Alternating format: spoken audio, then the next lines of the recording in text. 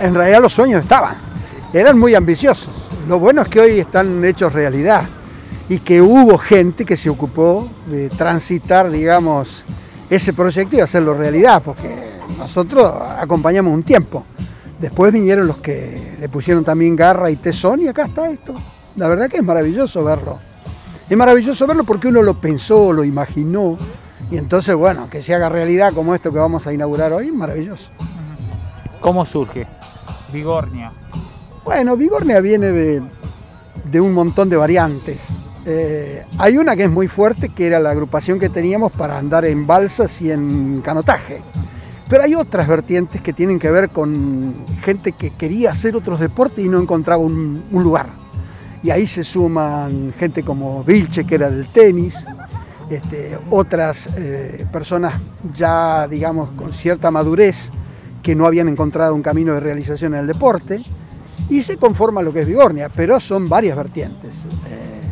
En esto hay que reconocer que cada uno puso en el club eh, una porción de esa energía y de esa impronta. Es decir, fíjate que lo primero que se trabajó es al lado del río para las canoas y ahí mismo para las canchas de tenis. Así que ese fue el impulso inicial. El rugby era el objetivo fundamental que los hombres habían trazado. Porque si ustedes advierten, no hay mujeres fundadoras y no hay mujeres fundadoras porque las reuniones que se hicieron para fundar eran de hombres para hacer un equipo de rugby. Pero en realidad mujeres había, y hubo siempre en Vigornia. Pero fundadoras no están. Es un detalle, ¿no? Pero hay que hablar de eso, porque hubo mujeres que, que pusieron su energía. ¿Qué significan estos 50 años?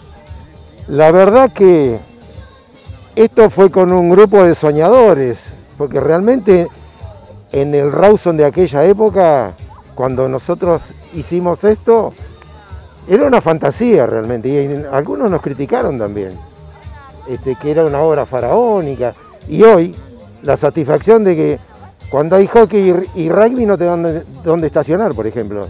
Y la, cantidad de terreno que tenemos hoy eh, nos hace falta para estacionar. Así que bueno, no estábamos tan equivocados. Sí teníamos una dosis de locura también. ¿eh?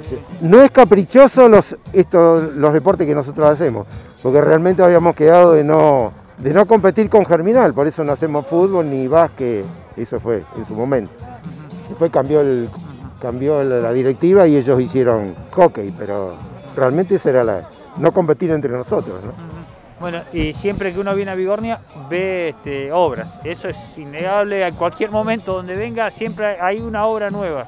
Eso responde a un proyecto y a esa fantasía que yo te digo, sí, es importante, porque bueno, va todo el esfuerzo ahí y, está, para que Rawson lo, lo disfrute.